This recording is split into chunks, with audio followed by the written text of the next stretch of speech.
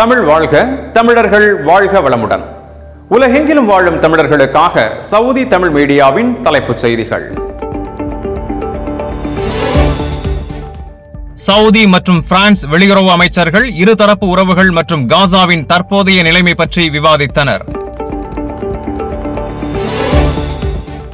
Saudi அரேபியாவும் சமோவாவும் தூதரக ஒப்பந்தத்தில் கையெழுத்திட்டுள்ளன.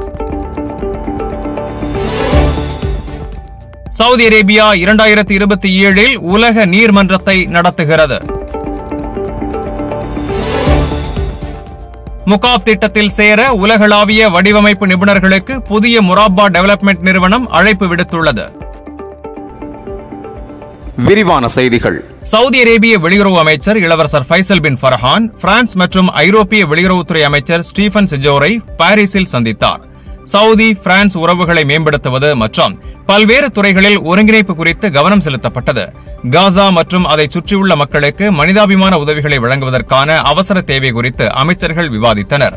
நெருக்கடியை நிவர்த்தி செய்வதற்கும் பாதிக்கப்பட்ட மக்களின் நல்வாழ்வை உறுதி செய்வதற்கும் சர்வதேச முயற்சிகள் தொடர்வதன் அவசியத்தை இரு அமைச்சர்களும் வலியுறுத்தினர். இச்சந்திப்பில் பிரான்சுக்கான சவுதி தூதுவர் ஃபஹத் அல் ருவைலி வெளியுறவு அமைச்சர் அலுவலகத்தின் தலைமை இயக்குநர் அப்துல் ரஹ்மான் அல் தாவூத் மற்றும் வெளியுறவு அமைச்சகத்தின் ஆலோசகர் டாக்டர் மனல் ரத்வான் ஆகியோர் கலந்து கொண்டனர். சுதந்திர நாடான சமோவாவுடன் தூதரக உறவுகள் தொடர்பான நெறிமுறையில் சவுதி அரேபியா ஐக்கிய நாடுகள் சபைக்கான நாட்டின் நிரந்தர பிரதிநிதியான தூதர் அப்துல் அசீஸ் அல் வாசல் கையெழுத்திட்டார்.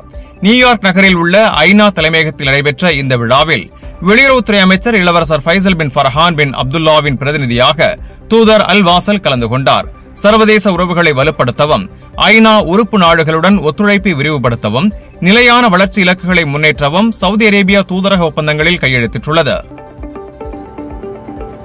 சவுதி அரேபியா இரண்டாயிரத்தி இருபத்தி ஏழில் பதினோராவது உலக நீர்மன்றத்தை நடத்த உள்ளது இந்தோனேஷியாவில் நடைபெற்ற மன்றத்தின் பத்தாவது அமர்வின் நிறைவு விழாவில் நூற்று அறுபது நாடுகளின் தலைவர்கள் அமைச்சர்கள் மற்றும் அதிகாரிகள் கலந்து கொண்டனர்.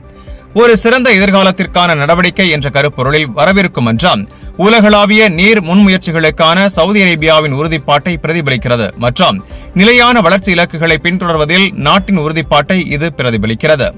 நீர் வழங்கல் சங்கிலி முழுவதும் நீர் மற்றும் சுகாதார சேவைகளை மேம்படுத்துவதில் தண்ணீர் துறைக்கு தொடர்ந்து ஆதரவு அளித்து வரும் சவுதி தலைமைக்கு சுற்றுச்சூழல் நீர் மற்றும் விவசாய அமைச்சர் பொறியாளர் அப்துல் ரஹ்மான் அல் ஃபாத்லி நன்றி தெரிவித்தார்.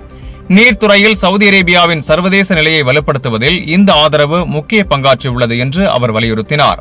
இது சர்வதேச ஆதரவை பெறுவதையும் நீர் சவால்களை எதிர்கொள்ள உலகளாவிய அமைப்புகளுடன் ஒத்துழைப்பை வளர்ப்பதையும் நோக்கமாக கொண்டுள்ளது. முகாப் திட்டத்தின் அடுத்த கட்டத்திற்காக உலகெங்கிலும் உள்ள முதன்மையான வடிவமைப்பு மற்றும் பொறியியல் நிறுவனங்களுக்கு சவுதி அரேபியாவின் பொது முதலீட்டு நிதியத்தின் துணை நிறுவனமான நியூ முராப்பா டெவலப்மெண்ட் நிறுவனம் அழைப்புகளை திறந்துள்ளது. இந்த திட்டம் ஏற்கனவே குறிப்பிடத்தக்க முன்னேற்றத்தை அடைந்துள்ளது. கிட்டத்தட்ட ஐந்து மில்லியன் கனமீட்டர் அகழ்வாராய்ச்சி நிறைவடைந்து இந்த ஆண்டின் இரண்டாவது காலாண்டில் குவியல் பணிகள் தொடங்கப்படும். இரண்டாயிரத்தி இருபத்தி நான்காம் ஆண்டின் மூன்றாம் காலாண்டில் இறுதி வடிவமைப்பு இறுதி செய்யப்படும் என்று எதிர்பார்க்கப்படுகிறது. புதிய முராபா டெவலப்மெண்ட் நிறுவனம் கருத்துக்கு பிந்தைய வடிவமைப்பு சுயாதீன வடிவமைப்பு மதிப்பாய்வு தரமான பொறியியல் சேவைகள் மற்றும் அதிநவீன கட்டிடக்கலை நிலைத்தன்மை மற்றும் தொழில்நுட்ப முன்னேற்றங்களுக்கான கட்டுமான மேற்பார்வை ஆகியவற்றில் நிபுணத்துவம் பெற்ற சிறந்த நிறுவனங்களுடன் கூட்டாண்மைகளை உருவாக்க முயல்கிறது. இந்த ஒத்துழைப்பு நகர்ப்புற கட்டிடக்கலையை மறுவரையறை செய்வதோடு மட்டுமல்லாமல் ஐகானை நிறுவும் திட்டத்திற்கு பங்களிக்கும் வாய்ப்பையும் நிறுவனங்களுக்கு வழங்குகிறது. முகாப் கட்டி முடிக்கப்பட்டதும் உயரம் அகலம் மற்றும் நீளம் என நானூறு மீட்டர் பரிமாணங்களை கொண்ட உலகின் மிகப்பெரிய கட்டமைப்புகளில் ஒன்றாக நிற்கும். இன்றைய வர்த்தக செய்தி. சவுதி ரியாலுக்கு நிகரான இந்திய ரூபாயின் ஆன்லைன் மதிப்பு ரூபாய் இருபத்தி இரண்டு புள்ளி ஒன்று நான்கு. ஸ்ரீலங்கா ரூபாயின் ஆன்லைன் மதிப்பு ரூபாய் எழுபத்தி ஒன்பது புள்ளி எட்டு இரண்டு. அமெரிக்க டாலருக்கு நிகரான இந்திய ரூபாயின் மதிப்பு ரூபாய் எண்பத்து மூன்று புள்ளி பூஜ்ஜியம் நான்கு.